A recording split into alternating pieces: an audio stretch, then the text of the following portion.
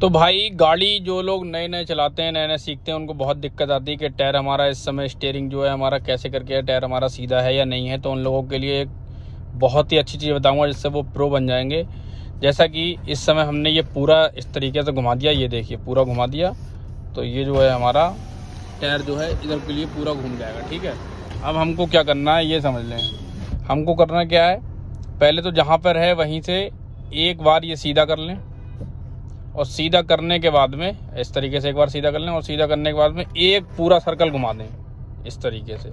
ज़्यादा नहीं घुमाना है, अगर ज़्यादा घुमाएँगे तो पूरा घूम जाएगा। इस तरीके से नहीं घुमाना है, बस एक ही सर्कल यानी कि ये देखिए, पहले एकदम इस तरीके से कर लें, ये लगने लगा, फिर यहीं पे एक बार सीधा कर लें, अगर प्रो बनना है, और सीधा करने के बाद एक सर्कल घुमा देंगे आप, और आपका टायर जो है, वो सीधा हो जाएगा, ये देखिए। सीधा हो गया।